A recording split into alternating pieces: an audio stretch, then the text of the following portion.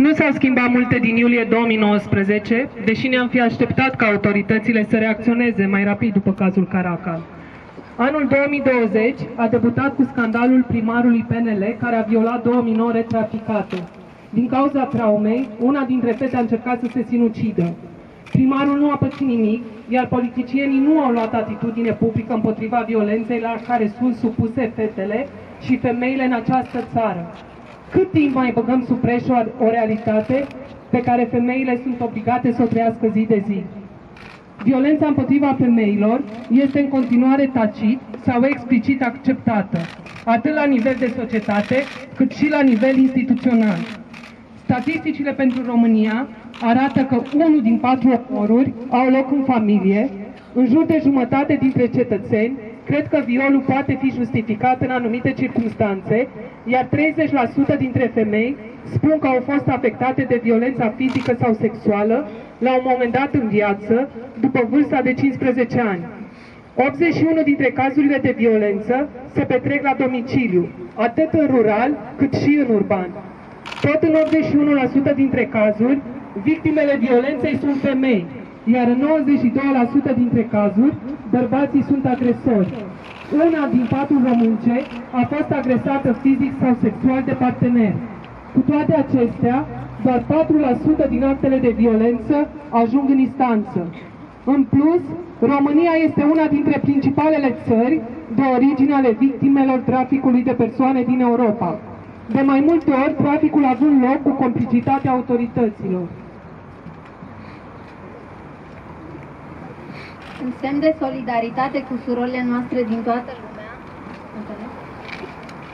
în semn de solidaritate cu surorile noastre din toată lumea, am ales să organizăm și în România flashmob-ul Violatorul ești tu. Tocmai pentru a arăta încă o dată că sexismul și violența împotriva femeilor sunt normalizate în toate societățile patriarhale, atât din est cât și din vest, nu sunt doar o excepție românească sau un semn de necivilizație. Evenimentul se va desfășura inclusiv în, în limba romanii, pentru a atrage atenția că femeile rome din România se confruntă atât cu sexismul, cât și cu rasismul autorităților și ale societății și sunt afectate dublu de violența sistemică, rasism, misodină. Funcționăm sub formă colectivă, feministă și am inițiat mișcarea Ca de una cădem toate, în solidaritate cu mișcarea feministă intersecțională mai amplă, Ni una menos.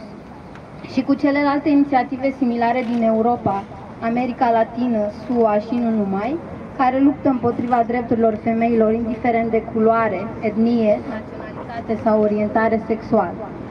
Feminismul nostru este intersecțional.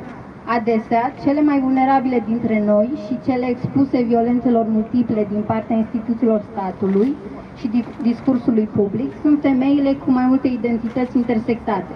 Femeile rome, femeile sărace, femeile lesbiene, femeile transgender, femeile migrante, femeile cu abilități diverse și suferințe psihice și așa mai departe. Suntem solidare una cu alta și nu le lăsăm în urmă pe niciuna dintre surorile noastre. Cade una, cădem toate. Cerem formarea obligatorie a polițiștilor, personalului juridic, medical și în, și în problematica violenței de gen. De cele mai multe ori, reprezentanții instituțiilor nu au cunoștințe specifice despre nevoile victimelor. Sunt misogini, rasiști, homofobi, transfobi și discriminează lucrătorii sexuali. Cerem simplificarea procedurilor instituționale de raportare a violurilor și a agresiunilor sociale, cu respect pentru femei, fără a le obliga să retrăiască trauma. Cerem debirocratizarea procesului de eliberare gratuită a certificatului medico-legal pentru cazurile de viol, violență domestică și alte forme de violență. Cerem mai multe uh, adăposturi în toată țara pentru persoanele care se confruntă cu violența domestică și sexuală. Să funcționeze non-stop și să găzduiască toate femeile care au nevoie de ajutor, indiferent de statutul actual de identitate. Cerem depenalizarea și dezincriminarea muncii sexuale.